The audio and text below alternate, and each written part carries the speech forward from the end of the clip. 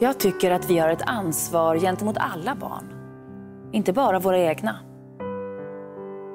Jag tänker inte acceptera att världen är orättvis.